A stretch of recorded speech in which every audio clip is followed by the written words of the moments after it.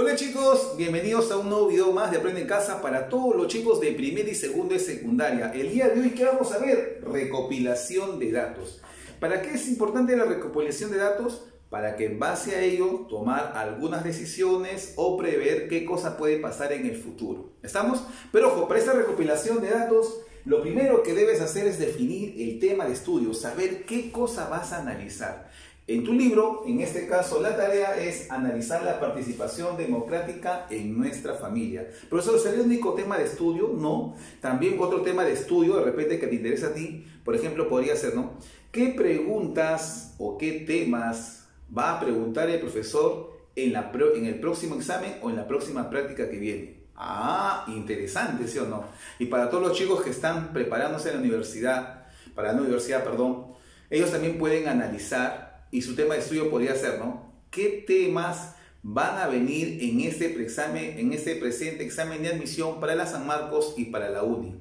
Ah, profesor, ¿y se puede determinar eso? Claro que sí, pero en base a recopilación de información. ¿Y cuál sería esa recopilación o cuál sería la información que debemos buscar? Pues los exámenes de, anterior, los exámenes de admisión anteriores. Y en base a ellos, hacer un pronóstico de qué podría venir en este examen. Otro también, yo sé que las noticias has escuchado, ¿no? Ya estamos en el 2021, seguimos con este tema de, de la pandemia y habrás escuchado en las noticias que no hay suficientes camas para poder atender a una población que se sigue contagiando a diario. ¿Estamos? Profesor, ¿y cómo la gente sabe eso? ¿Cómo los doctores saben eso? Porque ya han hecho sus cuadros estadísticos también. En base a la información que se está teniendo, se prevé que más adelante si la gente se sigue contagiando, no se va a poder atender. Por eso es que en base a ello se ha tomado la decisión de aumentar esta campaña, de decir a la gente que se cuide, que se cuide, que se cuide, por favor, porque ese tema del COVID no ha pasado. Entonces, ¿te das cuenta de lo importante que es la recopilación de información?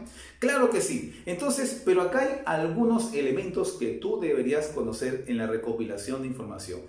¿Quieres saber de qué se trata? Sí, sí, sí. Ya, listo, vamos. Bien, lo primero que debes saber, si ya tienes definido tu tema de estudio, lo primero que tienes que saber, ¿qué cosa es una población?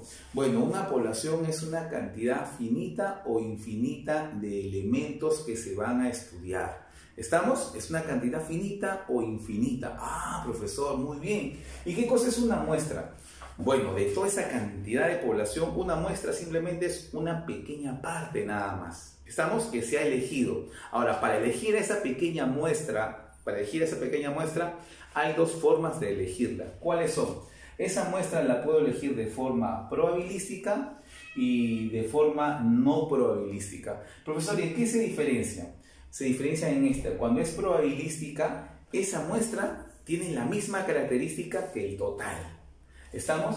Y cuando es no probabilística, se escoge de forma aleatoria y normalmente ellos no tienen un comportamiento como el total. ¿Estamos? De esa manera nada más. O también se escoge esto cuando son poquitos elementos. Profesor, ¿y cómo es poquitos elementos? Ah, chequea, chequea, chequea, chequea.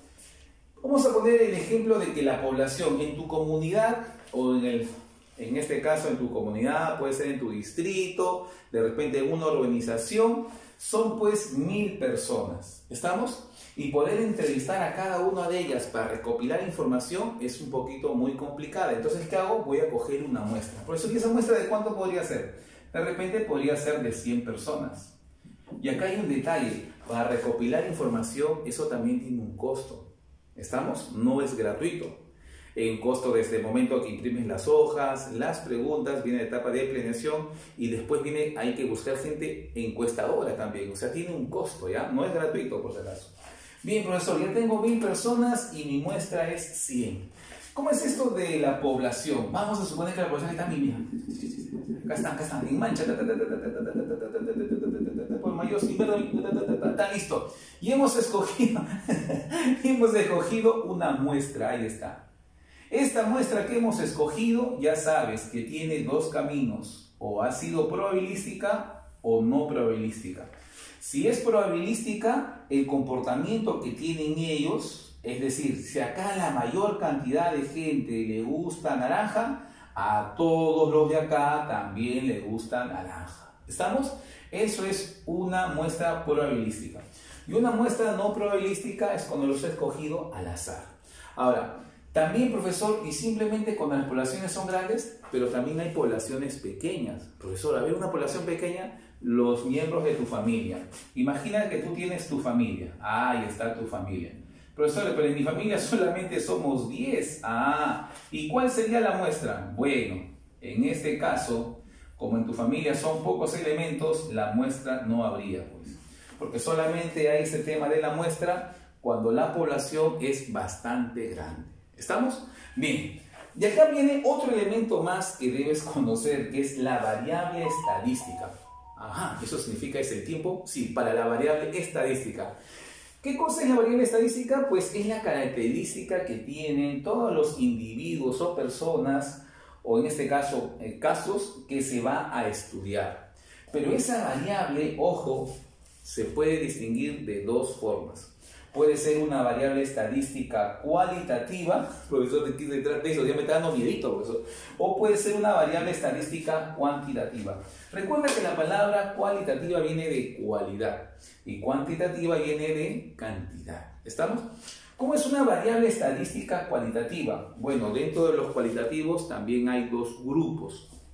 Hay lo que son las variables estadísticas cualitativas nominal y ordinal. Y las cuantitativas pueden ser de tipo discreto o continuo. Te voy a citar algunos ejemplos. ¿Cómo es una este, variable estadística cualitativa nominal? Es, por ejemplo, cuando se va a analizar a las personas teniendo en cuenta, puede ser su estado civil, su religión y otras cosas más. ¿Cómo se puede analizar desde el punto de vista ordinal? Es cuando vas a analizar un conjunto de elementos, de repente eh, por su situación económica, ¿estamos? Puede ser por orden de mérito también, también, y queda primero, segundo, tercer, cuarto lugar. Profesor, ¿y cómo son las variables del tipo discreto y continuo? Bueno, en las cuantitativas, los discretos son, por ejemplo, cuando quieres analizar el número de hijos, número de primos, número de mujeres, número de varones, eh, mayores de 18 años, esas características. Profesor, ¿y cómo será una este, variable estadística cualitativa continua?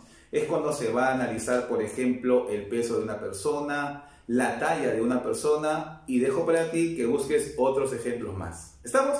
Bien chicos, y de esta manera hemos llegado a la parte final. Profesor, pero espérese.